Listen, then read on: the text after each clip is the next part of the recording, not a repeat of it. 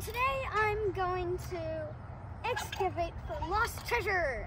So, let's get started.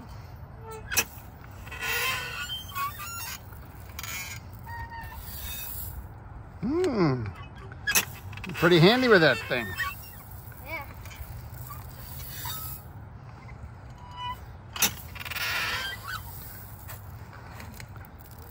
Have you found any treasure yet?